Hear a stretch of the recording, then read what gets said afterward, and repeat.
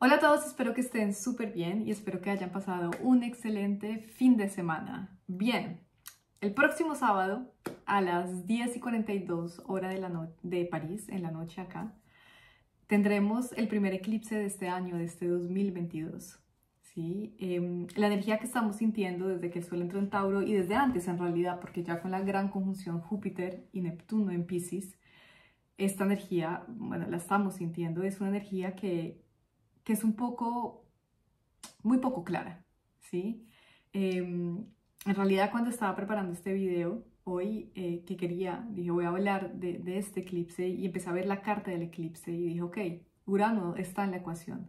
Realmente no hay mucho que pueda decir, sino es más invitarlos, ¿sí? Creo que es la gran lección de este eclipse, ¿sí? Invitarlos a soltar y abrirse al cambio abrirse a lo que venga, abrirse a aceptar aquello que pueda presentarse en sus vidas y que puede ser muy desagradable, que puede ser como un sacudón, digamos, de, de su energía, pero que en realidad nos está invitando a reevaluar, reestructurar también nuestro sentido de estabilidad, nuestra conexión con nuestros pilares, nuestra conexión con nuestros recursos, nuestra conexión con nuestra propia estabilidad. ¿Por qué les digo esto? El eclipse se da en el signo de Tauro, ¿sí? Eh, el opuesto complementario de Tauro es Escorpio. Este eje Tauro y Escorpio nos invitan a trabajar y aceptar que en el universo siempre hay cambios, que la vida es vida y muerte al mismo tiempo, que estamos en ciclos de transformación eternos, perpetuales. Si vieron la tertulia que hicimos el domingo pasado junto a Mili, a Yanni y a Valentina, eh, alguna de ellas, no me acuerdo en este momento, con mi memoria de pececito, hablaba de cada cuánto las células del cuerpo se regeneran, ¿sí? Y es esto, Tauro Escorpio nos habla de la muerte y la vida vienen juntos, son dos caras diferentes de la misma moneda, ¿sí? Así que cuando tenemos eclipses que vienen a activar este eje, pues es una energía que nos dice hay algo que debe morir porque hay algo que debe renacer, es algo que se da al mismo tiempo, en paralelo. Y además, este eclipse se da muy cerca de Urano. Tenemos el eclipse en el grado 10 de Tauro y Urano en el grado 14 de Tauro. Así que van a estar muy, muy, muy cerquita y Urano nos habla de los cambios. Pero Urano es el dios del caos también. Urano nos dice el cambio viene. ¿Cómo? ¿Por dónde? No tenemos ni idea, ¿sí? Pero de que llega, llega. Era el cambio viene y lo único que a lo que estamos invitados a hacer con la energía de Urano es abrir, soltar y decir y que pase lo que tenga que pasar, ¿sí? Y que sea lo que tenga que ser.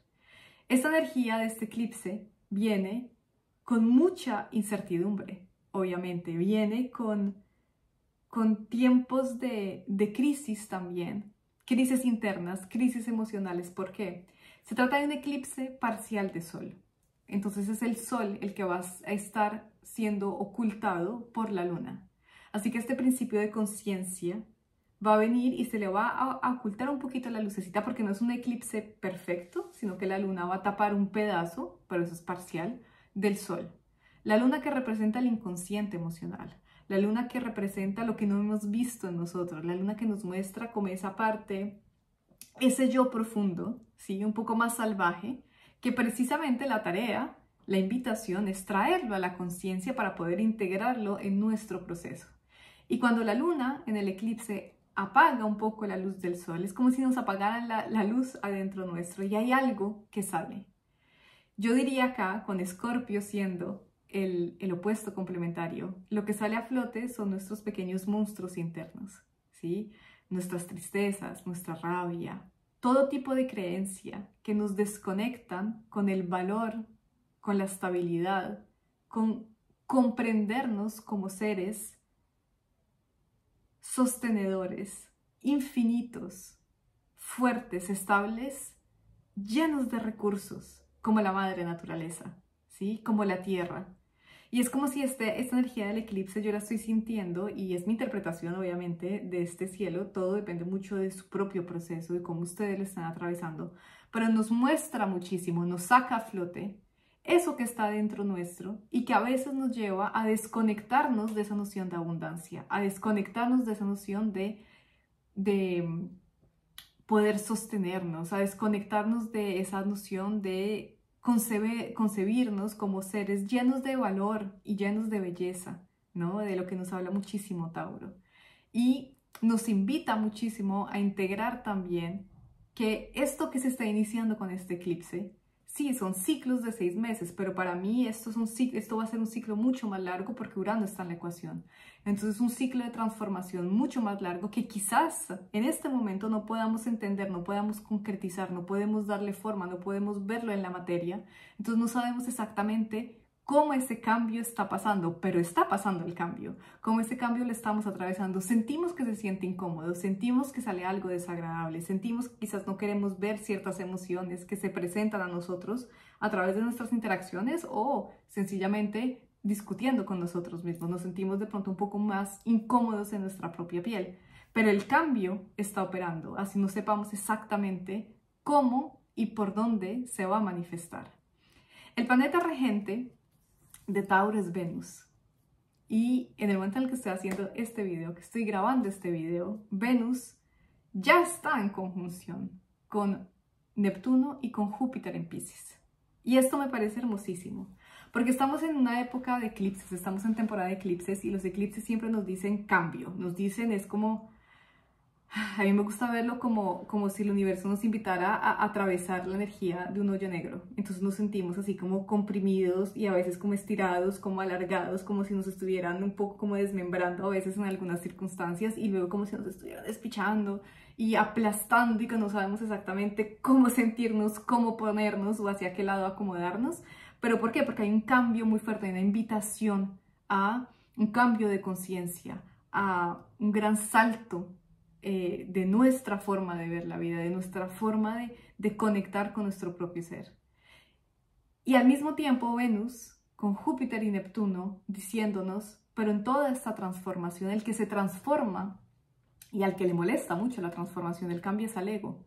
Si nos mantenemos concentrados y conectados con nuestro ser, con esta noción, con esta verdad a la que nos invita a conectarla, con la que nos invita a conectar la energía de Pisces, que es la verdad de que somos almas encarnadas viviendo una experiencia acá en la tierra, pero que nuestra esencia es esa luz y ese amor universal y, eterna, y eterno, si nos mantenemos conectados con esa verdad, si magnetizamos desde ahí nuestro amor, Venus, ¿sí? Si magnetizamos desde ahí nuestro deseo, ponemos ese amor al servicio de nuestra alma, ese deseo al servicio de nuestra alma, quizás podamos encontrar un poco más de estabilidad podamos mantenernos en nuestro eje en este momento donde hay mucha incertidumbre, en este momento donde hay muchos cambios, en este momento donde hay crisis, en este momento donde hay miedo, en este momento donde no sabemos qué es lo que va a pasar, ¿sí? Porque de eso se trata mucho la energía de este eclipse que vamos a tener el próximo sábado. Abrirnos al inesperado, abrirnos a lo que no podemos controlar, abrirnos a lo que no sabemos por dónde va a llegar. no sabemos qué es lo que va a pasar, por dónde va a venir, cómo se va a manifestar en nuestras vidas. Y sin embargo sentimos que hay una invitación para un cambio de piel. O en todo caso yo lo estoy sintiendo muchísimo así, sintiendo como, ok, una invitación, vuelve y juega, ¿sí? Como una nueva oportunidad para observar ahí donde mi ego sigue resistiendo, para que me aleje de una cierta forma o, o eso que me, me impide conectar con esta noción de amor incondicional, con esta noción de ser un ser divino encarnado viviendo aquí abajo en la materia. Y eso se siente muy incómodo, obviamente, para la experiencia humana, que, que sepamos o que no sepamos. Es que es un poco esto la invitación de Urano, ¿no? Urano nos dice, así lo sepas o no lo sepas, el cambio llega. Lo que va a pasar tiene que pasar y lo que tiene que suceder en este momento es lo que debe suceder lo que, lo que se presenta en esta crisis de este eclipse, lo que sale a flote en este momento, es una súper oportunidad, es una súper herramienta transformadora. Pero, como se trata de Urano y como se trata de los eclipses y tenemos el eje Tauro-Escorpio fuerte, se puede sentir muy incómodo en la experiencia cotidiana, en nuestra experiencia de todos los días. Por eso me parece que aferrarnos a ese amor, esa, esa invitación que Venus nos está, haciendo en Pisces, aferrarnos a esa conexión con Júpiter, con Neptuno y decir, ok, pero el que muere, el que se transforma es mi ego. Porque cuando estoy conectada con esta verdad de amor universal y amor incondicional. Esto es lo único que existe, a pesar de que abajo en la materia, de que aquí abajo en la materia se esté sintiendo muy incómodo. Si miramos la carta, si miramos un poco el equilibrio de elementos que tenemos en los próximos días, tenemos mucha agua y mucha tierra. Tenemos muy poco fuego.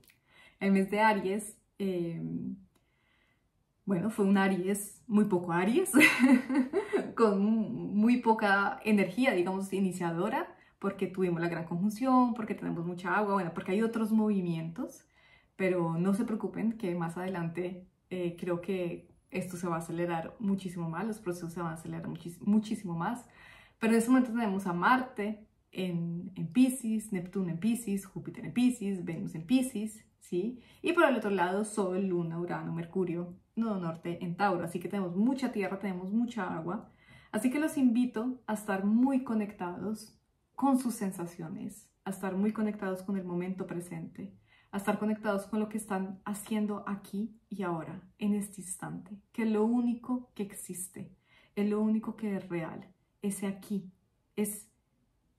Y esto es una frase que, que, publiqué, eh, una foto de, de, un, cuadro, bueno, de un, letrero en realidad, que vi en un lugar y, que, y que publiqué porque me pareció muy pertinente para la energía que estamos atravesando. Y es esto de el aquí y el ahora, es el futuro que tanto estabas buscando, es en este momento con esta energía de tantos cambios, con esta energía que además viene con muy poca claridad mental, porque no tenemos casi aire en la carta, que viene con muy poco fuego, entonces nos podemos sentir así como desanimados, cansados, ¿sí? Lo mejor que podemos hacer es estar plenamente conectados con nuestro ser, estar plenamente conectados con nuestro cuerpo. La estabilidad la encontramos en nosotros, no apegándonos a algo exterior. La estabilidad en estos tiempos de incertidumbre y de eclipses, la encontramos conectando con nuestro ser, con nuestras sensaciones físicas y con esa verdad profunda de que somos amor, amor encarnado en la materia, viviendo una experiencia en la materia. Bueno, como de costumbre, no duden en dejarme sus preguntas y sus comentarios, en, sus, en los comentarios, perdón. También si me quieren dejar sus comentarios, obviamente. Espero que estén muy bien esta semana. Los invito igual a aprovechar esta energía. Para mí, todo en la vida, absolutamente todo. Y esta es, mi forma de verlo y, y, lo digo, lo comparto con ustedes, pero porque para mí, a mí me ayuda muchísimo verlo así. Pero para mí absolutamente todo lo que nos sucede son oportunidades para volver a esa integración con el amor. Así que los invito a aprovechar, así se sienten cómodos, a cuidarse mucho, cuiden mucho de su cuerpo, eh, consientan mucho su cuerpo, denle mucho amor a su cuerpo, ¿sí? Dense mucho amor a ustedes y nos vemos muy pronto para el próximo eclipse, porque este es el primero de dos, ¿sí? Luego tenemos la semana, lo que yo digo la semana sándwich, que es dos la semana entre dos eclipses, donde la energía se siente un poco, bueno, un poquito más intensa. Y eh, luego tenemos el segundo eclipse de esta temporada. Les deseo una feliz tarde y nos vemos muy pronto.